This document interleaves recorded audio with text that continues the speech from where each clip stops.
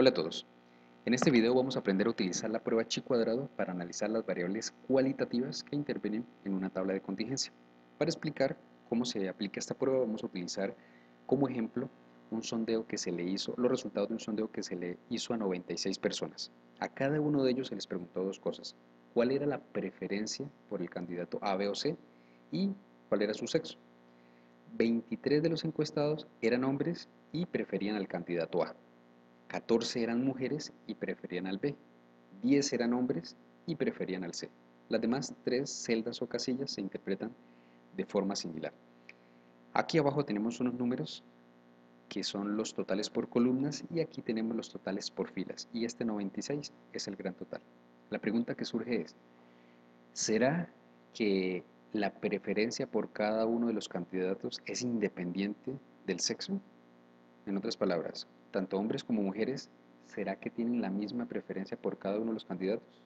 Bueno, para responder esta pregunta lo vamos a expresar en forma de prueba de hipótesis y la hipótesis nula en este tipo de pruebas es que las dos variables que intervienen, en este caso sexo y preferencia, son independientes. Es la hipótesis nula. Y la alterna es que esas dos variables no son independientes. ¿Cómo vamos a hacer la prueba de hipótesis? Bueno, para hacer esta prueba de hipótesis, entonces lo que vamos a construir es, vamos a calcular para cada celda, vamos a calcular una frecuencia esperada, bajo la suposición de que las variables son independientes. ¿Cómo calculamos esas frecuencias? Entonces, vamos a verlo, vamos a mostrar cómo se calcularía, por ejemplo, la frecuencia esperada para la celda número 1, esta que estoy señalando, sobre la suposición de que las eh, variables son independientes. Entonces, para calcularlo, lo único que tenemos que hacer es lo siguiente.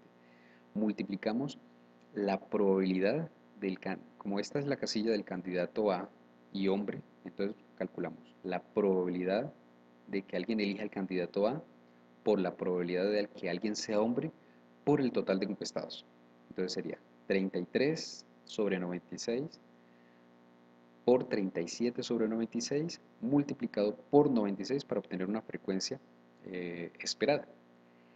Eh, un 96, con este 96 se nos elimina y nos queda esta expresión que es la más usual para calcular las frecuencias esperadas, que dice básicamente que si nos interesa la frecuencia esperada de una celda o casilla, lo único que tenemos que hacer es multiplicar el total de esa columna por el total de esa fila y dividir entre el gran total. De esa forma lo que obtenemos es que la frecuencia esperada para la casilla número 1 es de 12.72.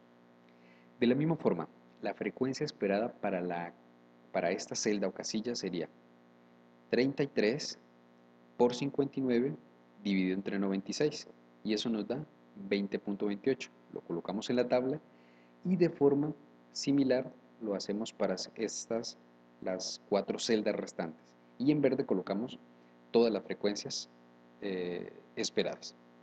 ¿Y en qué consiste la prueba? La prueba chi cuadrado. La prueba consiste en que vamos a medir la distancia o discrepancia que hay entre las frecuencias observadas en color blanco y las frecuencias esperadas en color verde, sobre la suposición de que las variables son independientes. Si hay mucha diferencia entre estas cantidades, significa que no son independientes. ¿Cómo hacemos esa cuenta? Muy fácil. Lo que vamos a hacer es a calcular el estadístico chi cuadrado que tiene esta forma. Lo que vamos a hacer es un recorrido, una suma por todas las casillas y a la frecuencia observada le vamos a restar la frecuencia esperada. Esta es la discrepancia.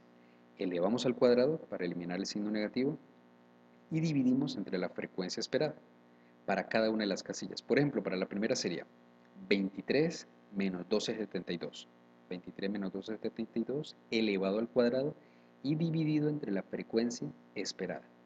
Para la segunda, para la tercera y así sucesivamente hasta la última, hasta obtener este valor que es el 20.60, que es el estadístico. ¿Qué es este valor? Pues son el resumen de todas las discrepancias que hay entre las frecuencias observadas y las esperadas. ¿Con qué comparamos este número para hacer nuestra prueba de hipótesis? Entonces lo comparamos con un valor de la tabla chi cuadrado eh, que debe tener r menos 1 por c menos 1 grados de libertad. ¿Qué es el r y qué es el c? Pues el R es el número de renglones que tiene la tabla, en este caso son dos, porque son dos niveles de la variable sexo, y C es el número de columnas que tiene la tabla, en este caso son tres, porque son tres candidatos, tres columnas tenemos acá.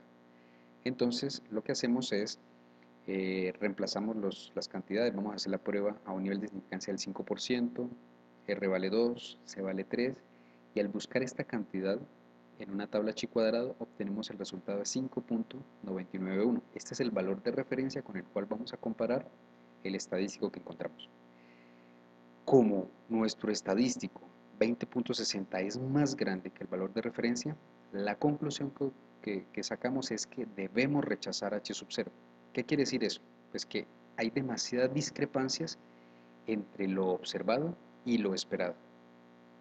Por lo tanto, la conclusión es que las dos variables que estamos analizando no son independientes, es decir, rechazamos la hipótesis nula h sub 0.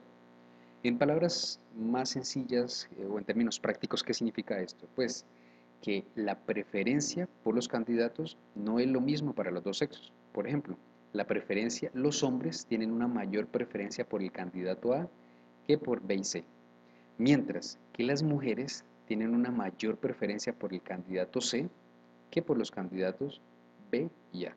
Por lo tanto, eso quiere decir que las dos variables no son independientes, hay una dependencia entre ellas dos.